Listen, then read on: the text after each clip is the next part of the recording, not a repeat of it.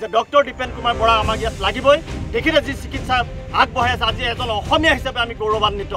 ভুৱা চিকিৎসক ভুৱা চিকিৎসাৰ বলি হৈ এতিয়ালৈকে বহুতে প্ৰাণ হেৰুৱাইছে। আপুনি হয়তো আঙুলিৰ মূৰত গণি তাক শেষ কৰিব পৰা পৰ্যায়তে নাই। কি আপুনি অসম কওক দেশ কওক বা দেশৰ বাহিৰতে কওক।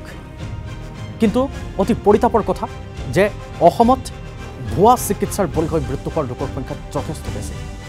আৰু এই বিষয়টোক লৈ বাৰম্বাৰ প্ৰতিবাদ হৈ আহিছে। বাৰম্বাৰ এই বিষয়টোক উপস্থাপন কৰি থকা হৈছে কিন্তু তাৰ পাছতো একাংশৰ কাণ্ডজ্ঞানহীনতাই আপোনাক আকৌ এবাৰ ভবাই তুলিব লখিমপুৰৰ কথা ক'বলৈ লৈছোঁ আপোনাক। লখিমপুৰত এগৰাকী ভুৱা চিকিৎসক চাওক এইগৰাকী বহি আছিল তেওঁ চিকিৎসা কৰি আছিল। আৰু যিগৰাকী চিকিৎসক থাকিব লাগে সেইগৰাকী নিজৰ চেম্বাৰত আছিল। ভুৱা চিকিৎসক এগৰাকী সঞ্জীৱ হাজৰিকা আৰু যিগৰাকী চিকিৎসকে দায়িত্ব গ্ৰহণ কৰিব লাগিছিল বা যিগৰাকী চিকিৎসক থকাৰ কথা আছিল সেইগৰাকী চিকিৎসক কিন্তু এই মুহূৰ্তত নাই। তেওঁ ডক্টৰ দীপেন বৰুৱা। এইগৰাকী দীপেন বৰুৱাৰ অনুপস্থিতিত এইগৰাকী স্বয়ম্ভূ ভুৱা চিকিৎসকে চিকিৎসা চলাই থকাৰ কথা কোনো কাৰণত কোনেও মানি ল'ব নোৱাৰে।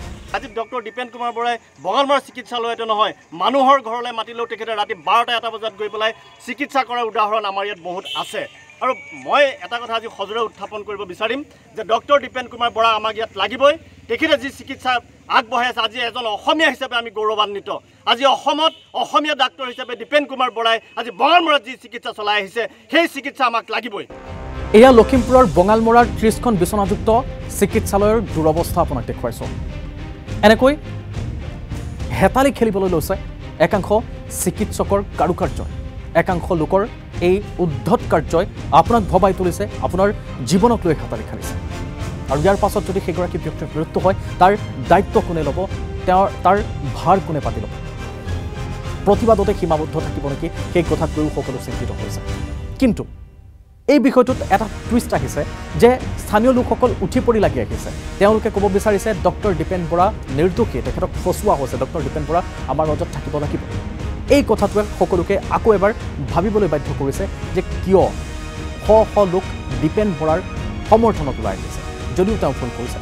তেওঁলোকে এটাই মন্তব্য কৰিব বিচাৰিছে যে ষড়যন্ত্ৰৰ বলি হৈছে যিগৰাকীয়ে ইতিমধ্যে তাত কাম কৰি আছে তেওঁক কোনোবাই ভুৱাকৈ তাত বহুৱাই থৈছে ইয়াত দীপেন বৰাৰ কোনো হাত নাই।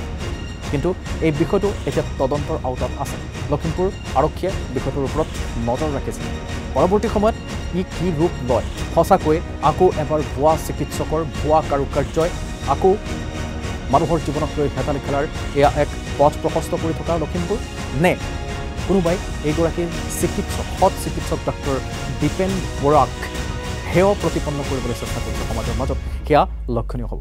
কিন্তু শেহতীয়াকৈ যথেষ্ট চৰ্চাত আছে